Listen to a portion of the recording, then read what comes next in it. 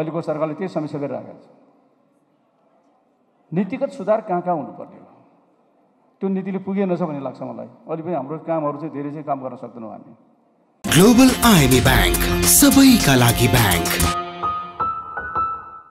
त्यो ऐन कानुनहरू पुरानो चाहिँ मेरो मन्त्रालयको कुरानी गर्ने हो भने त धेरै जस्तो पञ्चायतकालीन ऐनहरू छ अहिले पनि तिन चारवटा ऐन बाहेक।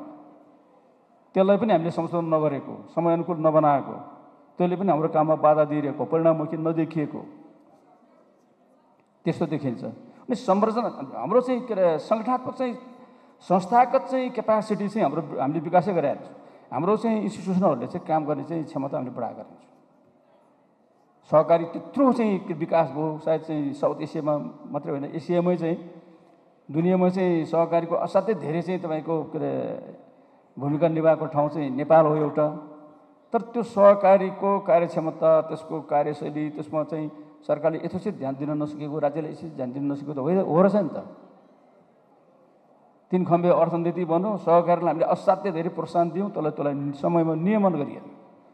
समयमा त्यसको अनुगमन भएन त्यो कामको।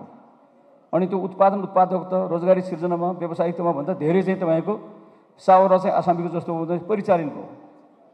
ऋण सहकारी होइन? के सहकारी मात्रै परिणत त्यो उत्पादन सहकारी गरिएन। सहकारी भनेको सहकारीको सबै सदस्यहरू बिचमा समान चाहिँ तपाईँको त्यसको स्वामित्व ग्रहण हुने समान लाभ चाहिँ हुने समान नोक्सान भयो भने समानै रूपमा हुने हो नि त। तर दुई चारजनाले मात्रै चाहिँ त्यत्रो त्यत्रो के अरे सडकमा हिँडेका मान्छेहरू करोडपति बन्ने करोडपतिहरू अरबपति बन्ने स्थिति हुँदासम्म राज्यले त्यसमा चाहिँ यथोचित ध्यान दिएनछ